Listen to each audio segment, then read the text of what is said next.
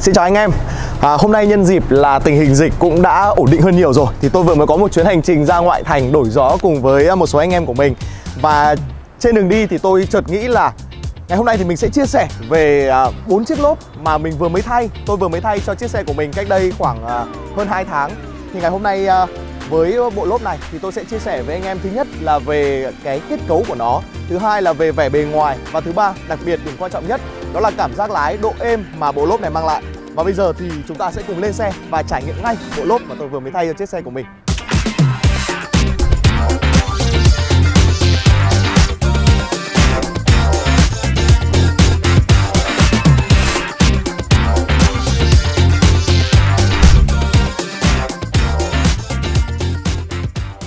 Bộ lốp này thì tôi đã thay tính đến thời điểm này là khoảng hơn 2 tháng từ khi mà Hà Nội giãn cách xã hội do Covid-19 thì à, trong vòng 2 tháng đó thì mặc dù là giãn cách tuy nhiên thì tôi cũng đã có thời gian để sử dụng chiếc xe này tương đối nhiều để phục vụ cho công việc của mình. Đầu tiên là chắc chắn là không thể thiếu được là việc chạy trong phố rồi. À, thứ hai là cũng đã trải nghiệm bộ lốp xe trên đường cao tốc và đặc biệt là có những lần mà đưa các anh em uh, đi công tác đi ra đường ngoại thành và đường cũng không thực sự là đẹp thì cũng đã có trải nghiệm bộ lốp ở trên cái cung đường gọi là tương đối xấu. Thì qua cái cảm nhận ờ, của cá nhân tôi tôi thấy bộ lốp này khá là phù hợp cho mục đích sử dụng đa dụng, tức là chúng ta sử dụng xe trên nhiều địa hình khác nhau và với nhiều mục đích khác nhau, đặc biệt là với cái số lượng tải trên xe cũng sẽ thay đổi thường xuyên. Bộ lốp này thì được chế tạo bởi ờ, công nghệ ờ, của Mỹ và châu Âu và sử dụng những cái nguyên vật liệu chất lượng cao nếu tìm hiểu kỹ hơn thì anh em sẽ biết đến thương hiệu Advenza chuyên lốp ô tô du lịch PCR với 5 dòng lốp xe được nghiên cứu sản xuất cho từng nhu cầu sử dụng cần thiết như Milega, Traveler, Discoverer, Coverer, Venturer.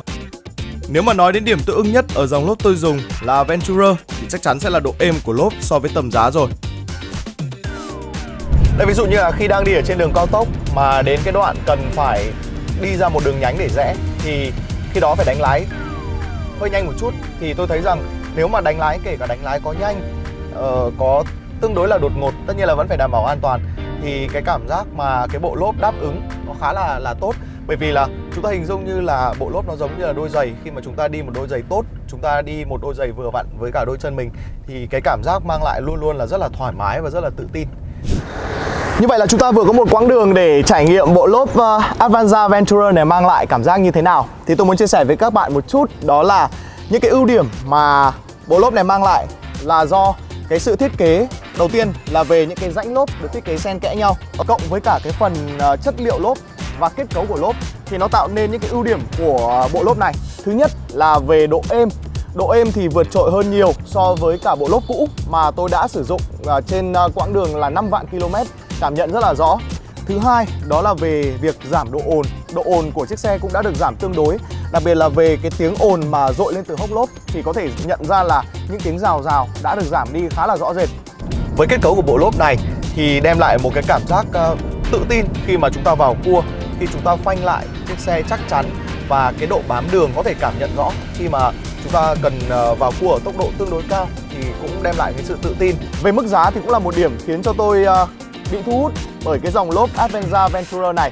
À, Đối với uh, lốp size uh, vành cỡ 16 thì chúng ta có hai mức giá. Đầu tiên là 205 gạch 60 R16 Thì chúng ta sẽ có mức giá là 1 triệu 400 nghìn đồng cho một lốp. À, Đối với mức uh, cao hơn, chiếc lốp cao hơn một chút Tức là cỡ là 205 gạch 65 R16 Thì tức là cái phần hông lốp này nó sẽ cao hơn một chút Thì uh, mức giá sẽ chỉ tăng lên 50 nghìn một lốp thôi là 1 triệu 450 nghìn. Còn đối với những bạn đang đi cỡ lốp uh, vành cỡ 18 thì chúng ta sẽ có mức giá cho một chiếc lốp là 2 triệu 050 nghìn. Thì tôi nghĩ rằng đây là một cái mức giá khá là tốt cho một dòng lốp uh, dành cho người Việt nhưng mà sử dụng công nghệ là công nghệ của Mỹ. Là một sự lựa chọn uh, tôi nghĩ là khá phù hợp cho những người mà có nhu cầu sử dụng xe với cái địa hình với uh, những quãng đường hỗn hợp đa dạng vừa đi phố mà vừa sử dụng để đi những đoạn đường tương đối xấu. Vừa rồi là một số chia sẻ của tôi về trải nghiệm thực tế khi mà sử dụng dòng lốp Advenza Venturer và hy vọng là những thông tin này sẽ hữu ích đối với anh em và anh em sẽ có những trải nghiệm thật tốt cùng với mẫu ờ, lốp dành cho người Việt và sử dụng công nghệ Mỹ này. Và xin chúc anh em sẽ luôn vững tay lái và thường lộ bình an trên mọi cung đường của mình.